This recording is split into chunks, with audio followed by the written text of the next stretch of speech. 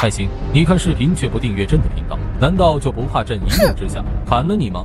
这么着急要走，不愿意跟我一起玩了吗？不是，但是娘说好一早就来接我的，秦哥哥，我爹娘该不会是出事了吧？你别着急，兴许只是昨天玩累了，所以今天睡过头了。我这就叫人出去打听一下。爷，京城大大小小的客栈那么多，这可不好找啊。你先去镇国将军府看看。大叶家啥时候跟镇国将军府扯上关系了？谁知道了镇国将军府一问，叶家还真在这里。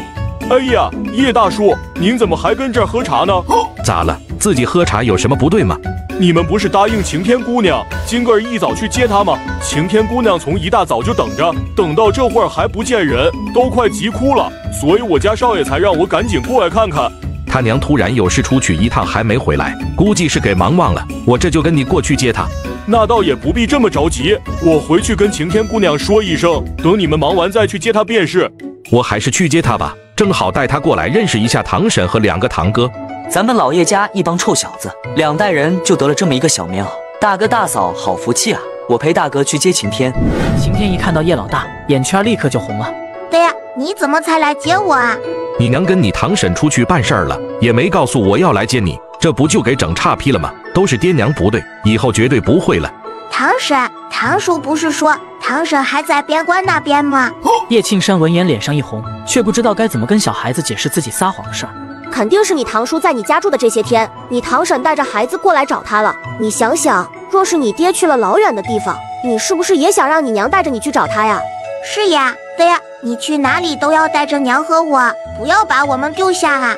放心，爹到哪儿都带着你们。叶庆山见秦鹤轩帮自己解了围，感激地冲他一笑。早就听父亲讲过叶将军的传奇经历，没想到今日托晴天的福，能够见到将军，真是三生有幸。秦小少爷真是过誉了，在下虽然远在边关，但是这些年也是经常听到百姓对秦大人的称颂和赞誉，对秦大人也是仰慕已久。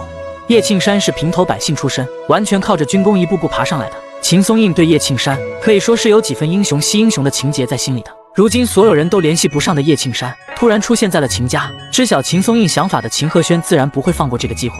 叶将军，实在对不住，您到访的事儿我已经叫人去通知父亲了，父亲应该马上就要到了，可否劳烦您再稍后片刻？毕竟这是您第一次登门，若是不告知，父亲一定会怪我招待不周的。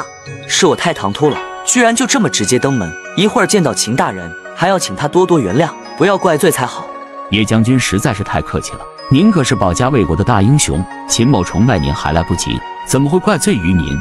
秦大人，我没读过什么书，就是个粗人。但是我叶敬山是个知恩图报的人，也许在京城很多官员的眼中，战报上的伤亡人数不过就是一串数字罢了。但那些都是我手下的兵，是跟我一起浴血奋战的兄弟手足。如果没有您这几次的帮助，我们不知道会多死多少人，就连我都不知道自己能不能活着回来。所以您今后若是有什么需要我的地方，只要我叶庆山能做得到，一定竭尽全力。叶将军，如今年也过完了，你也很快就要上朝参政了，不知道您可有什么打算？不瞒秦大人，您说我如今真的是毫无头绪，就连之前打算宴请同僚的事儿，如今都是我家大嫂在帮我操持，不知秦大人可否指点一二？叶将军若是信得过在下，在下可以帮您推荐几位幕僚的人选。那可真是太好了，我先在这里谢过秦大人了。秦松印在纸上写下了几个名字和他们如今的住处。这几位先生都是颇有才学和清誉兼备的，但是能不能把人请到家中，还就得看你怎么去谈了。中场休息，各位看官，如果喜欢这个系列，请为影片点赞和订阅频道，你的支持是博主更新的动力。博主支持评论区催促更新与剧情讨论，同时考虑根据大家的反应来决定是否继续更新后续剧集。只要有催更的呼声，就会更新后续。完了，如果宴请同僚的事有什么不明白的，我这边可以叫人提供一些帮助。当然，主要是一些规矩上面的，怕你们初来乍到不清楚。叶大嫂之前也帮我家做过酒席，有什么事也好沟通。不知道叶将军意下如何？我都不知道该如何感谢您才好了。你放心，我回头就叫人联系你家夫人。这些事儿都是这样，一回生，二回熟，没做过觉得难如登天，做过一次就知道是怎么回事了。二人回到家里的时候，叶大嫂和邵氏也正好个刚进门。晴天，娘忙糊涂了，竟把要去接你的事儿给忘了，都是娘不好，你原谅娘这一次好不好？晴天心里其实是有一点点难过的，但是一听到娘亲跟自己道歉，立刻就原谅她了。多亏了我临时起意陪着大哥去接请晴天，没想到竟然跟秦大人相谈甚欢。秦大人还帮我解决了目前两大燃眉之急，这一趟可真是没白去啊！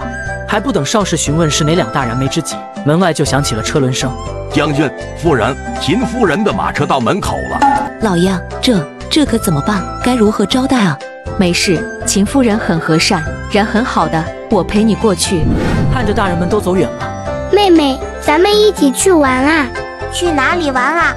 我家后院有池塘，现在结冰了，我去做几个脚滑子，咱们去滑冰吧。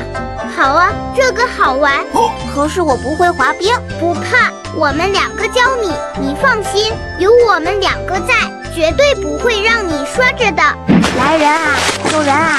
晴天姑娘这是怎么了？救救人，掉掉下去！少爷落水了，快来人啊，快来救人呐！邵氏还以为孩子出了什么事，直接晕倒在丫鬟的怀里。晴天呢？我家晴天呢？求求你们了，救救我家晴天！别急，晴天没掉进去。大娘，晴天在这儿呢。娘，他猛地回头看过去，只见叶昌瑞正抱着晴天走了过来。娘差点被你吓死了，你以后千万离水边远一点，听到没有？娘，疼，我身上疼。咋了？哪儿疼？告诉娘伤着哪儿了？摔跤了，波棱盖疼，手也疼。幸好叶昌汉和叶昌坤都没什么大事，确认两个儿子都没事之后，叶庆山才终于忍不住。我说没说过不许去池塘的冰面上玩？你们以为这里是边关那么冷，冰都冻得结实吗？说什么都不听，天天就知道淘气。现在终于掉进去舒服了是不是？你们自己作死，还敢带着晴天一起？我看你俩是皮痒痒了，嫌我进京之后没顾上抽你俩是不是？多亏了晴天姑娘跑出去喊人，小的才能赶过来将两位少爷救起来。晴天姑娘为此还摔了好几跤，幸亏只有你们两个兔崽子掉进水里，以后你俩都给我离晴天远一点。娘帮你呼呼呼呼就不那么疼了。这是皇上御赐的伤药，那真是太谢谢庆将军大人了。大嫂，你这可就见外了。什么将军不将军的，甭管我的职位如何，我的根子里还是叶庆山，你就只管叫我庆山就行。今天真是多亏了晴天，那两个臭小子为了不让我知道他们去后花园滑冰，居然清退了所有的下人。要不是晴天跑出去喊人，他俩这会儿都淹死在池塘里了。老爷，你快别说这个了，我心口疼。是啊，庆山，这话可不能乱说，孩子没事最要紧。幸亏晴天还没来得及上冰面，不然我们真是……万幸孩子们都没事儿，昌汉和昌坤也不是故意的，孩子今天也受了惊吓，就先别说这事儿了。庆山，尤其是你，今天不许再骂孩子了，等孩子们都没事儿了，再好好跟他们讲道理。行，嫂子，我听你的。晴天就留在堂叔这里养伤，好不好？不好，我要跟娘回家。你娘也要多住几日呢。真的假的？娘之前说了，我们今天就回去的。娘，咱们要在堂叔家多住几日吗？是啊，娘要帮堂叔做酒席，正好你陪着娘留下住几日，好不好？